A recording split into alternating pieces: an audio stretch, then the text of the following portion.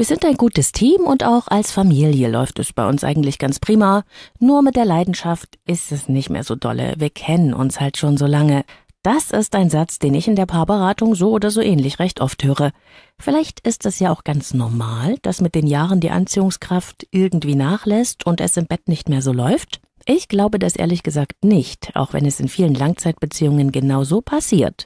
Damit die Anziehungskraft und die Leidenschaft erhalten bleiben, ist es aber wichtig, einige Beziehungsgesetzmäßigkeiten zu beachten. Eines davon ist das Prinzip von Gas, Pedal und Bremse. Stellen Sie sich die Leidenschaft und körperliche Anziehungskraft in Ihrer Beziehung vor wie eine Spritztour an einem Sportwagen mit vielen PS. Sie lieben den Rausch der Geschwindigkeit und der schicke Flitzer hat einiges zu bieten. Damit Sie aber diesen Rausch der Geschwindigkeit oder eben der Leidenschaft genießen können, brauchen Sie das Gaspedal.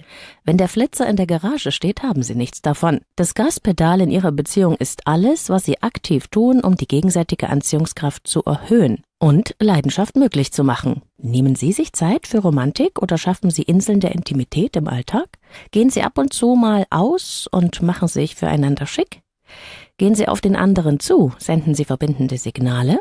Machen Sie Komplimente oder werben um Ihren Partner oder Ihre Partnerin? Haben Sie gemeinsame Ziele? Kümmern Sie sich ausreichend um Ihre eigenen Bedürfnisse? Sind Sie auf Augenhöhe miteinander?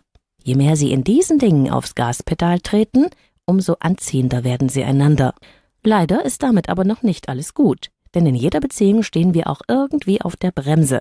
Mangelnde Zeit füreinander, ungeklärte Themen, die zwischen den Partnern stehen, familiäre Belastungen, dauernder Streit, gegenseitige Abwertung, Sprachlosigkeit, Verletzungen oder ein ungleiches Kräfteverhältnis und alte Kränkungen, die zwischen den Partnern stehen, bremsen unsere Leidenschaft und die Intimität. Kein Bock mehr auf romantische Stunden. Wenn solche und andere Themen längere Zeit die Beziehung belasten, und das geschieht sehr häufig in Langzeitbeziehungen, dann bremst das die Leidenschaft auf ein Minimum herunter.